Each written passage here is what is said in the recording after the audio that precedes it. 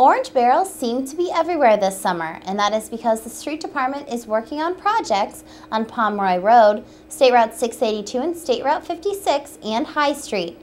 Find out more about these projects on this edition of Spotlight.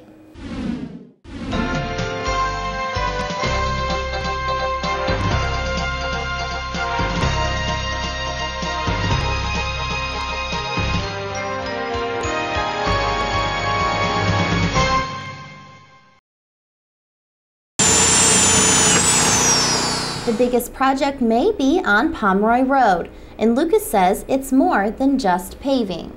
The paving will be the last thing done. Um, we'll go ahead and do all the drainage improvements and uh, get the get the slip fixed and the guardrail placed, and then then we'll do paving. This behind me is so far the biggest part of the construction project on Pomeroy Road. It's called a box culvert and it looks like it's solid concrete, but it's actually hollow inside so that water can flow through. Even after lots of rain dates, the workers are still working hard to finish the project by adding some wing walls. They've been taking that steel rebar and tying it, tying it together to form the, form the foundation for their uh, wing walls. After the wing walls are complete, the ditch work will begin.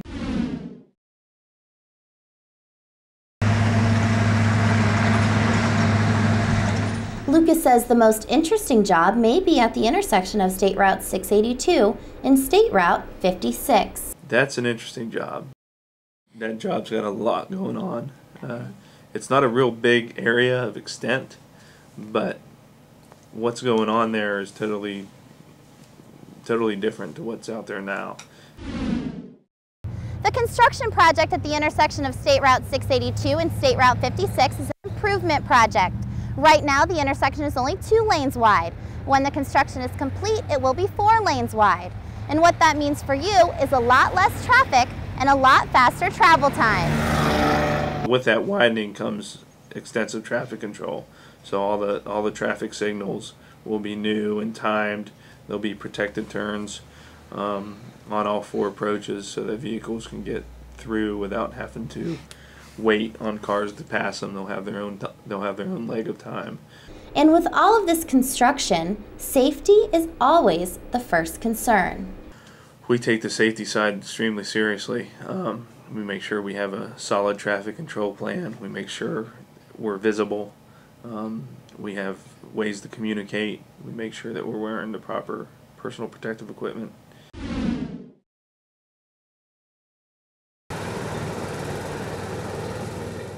This summer, High Street is getting a facelift. Lucas says the project will make it look a lot better. So what we've done is we've raised all the curb and sidewalk to that six inch minimum, grinded off about three inches of the asphalt to the brick, and we're going to put back three inches and it's all going to be up to date and look real nice. And the High Street project is an Issue 2 project which means the city applied for grant funding and received it for a period of two years to make the High Street area more accessible. Before this project began, on this block of High Street, the curb and the street were pretty much the same height. Now that the project is almost complete, you can see that the curb is higher than the street. This allows for better water flow and safer pedestrian traffic. Traffic is being maintained throughout the project, which Lucas says should be completed by September. Along with all of these projects, the street department is continuing its annual road rehab. They are filling in potholes, repaving streets, and replacing bricks to make the ride home in your car safer and easier. That's all for this edition of Spotlight. I'm Lynn Walsh reporting for the Government Channel.